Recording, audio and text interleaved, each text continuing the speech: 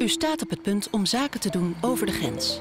In België of Duitsland. In andere Europese landen. Of misschien wel op een ander continent, bijvoorbeeld Azië. De kansen heeft u natuurlijk in kaart gebracht. Maar geldt dat ook voor de risico's? ING weet de weg.